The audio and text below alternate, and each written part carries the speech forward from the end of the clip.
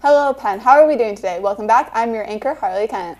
And I'm Emerald Andrews. Today is Friday, October 15th. Principal Sean Gallagher announced 10 Penn students that have been named for the National Merit semifinalists. Those students are Hala Asari, Manal Butch, Marin Chester, Alexander Dew, Salm Fitwi, Addison Haynes, Evan Nay, Luca Nijim, Jeremiah Roach, and Matthew Zane that achieved the academic di- distinction of National Merit semifinalists. Attention seniors! Jostens will be at lunch on October 19th and 20th, taking orders for caps and gowns. A deposit of $60 is required if your order is larger than 60. If not, it needs to be paid in full. These are the only days that they will be at school. If you miss them, you can order by calling 1 800 Jostens 567 8367. Make sure you order your cap and gown no later than October 31st.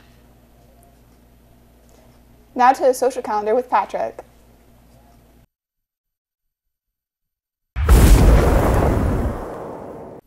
I'm Patrick Anderson, and I'll be bringing you your social calendar for the week.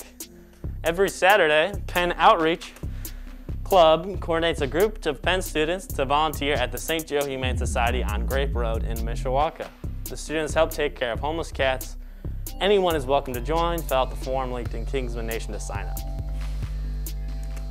All right. Penn Gardening Club's next meeting is Tuesday, October 19th. The meeting is in room 204 from 3.30 to 4 p.m. Email pengardening at gmail.com or message them on Instagram, PHS Gardening Club, if you have any questions. All right, the Writers Guild meeting is on Friday, October 15th. They are meeting in room 239 after school until 4.30. If you have a lot a love for writing, then this is the club for you. Anyone interested in being added to the announcement page should email Miss Morton at cmorton at phm.k12.in.us. The announcement page includes information about workshops as well as competitions. Now, back to Emerald.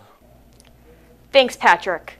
Last night was opening night for our theater students, student directed one act plays, but you can still catch a performance tonight at 7 p.m. in the Center of Performing Arts. Tickets are $5 per person. The act, the one act plays are Diner with the MacGuffins, 10 Ways to Survive the Zombie Apocalypse, and the Sophistication of Midnight of Midsummer Night's Dreams. Dream. Sounds scary. I can't wait to go. Now the sports with Vince. Hello, Penn. I'm Vincent Anderson, your sports anchor for this week, bringing you the latest and greatest news in Penn sports. This weekend, the boys rugby team won the state championship. The Kingsmen swept the tournament, defeating Carmel, Carroll, Avon, and finally Fishers for the crown. The score for the final match against Fishers was 15 to 12, with Dylan Quimby, Clayton Coleman, and Evan Lowe all scoring tries. Congrats, boys, for bringing the state title back home. Girls soccer won sectionals for the 15th consecutive time, tying with Center Grove for the record of the most consecutive sectional titles in the state. It was a shutout against Goshen, the score being 4 to 0, with scores from Quinn Marin, Mandy Baker, Sydney Sklarzrek, and Morgan Petty. Good job, ladies. Keep mowing them down. For hockey, the boys on ice demolished the BRPD. Marlies, 7 to 2, with two goals from Clay Pika and one from Matt Laware, Trey Thompson, Bryce Crawford, Joel Coquet, Max Stachmwitz, and assists from Bryce Crawford. Clay Pika, Brooks Clark, and Matthew Savage.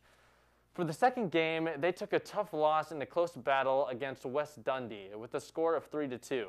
And in that game, scorers were Matt Petrie and Matt Matthew Savage. Sadly, the boys soccer team lost in the sectional championship against Elkhart. The Kingsmen battled, but the score fell to 4 to 2.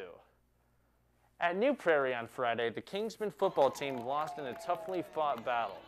The score was 17 to 7 with a touchdown pass from Brian Buckley to Gage Growski. But don't worry, the Kingsmen have their senior night against Adams tomorrow at Freed Field. Be sure to go out and support them tomorrow night. That's all I have for sports this week, Penn. Now back to the desk. Thanks, Vince, and congratulations to our sports teams. That look that looks like all we have for you this week, Penn.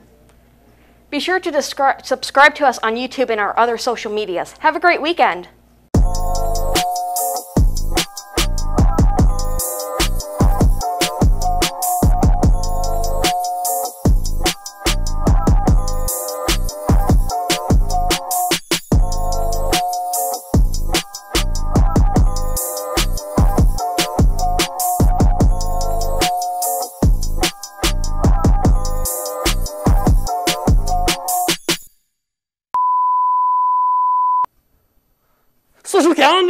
there.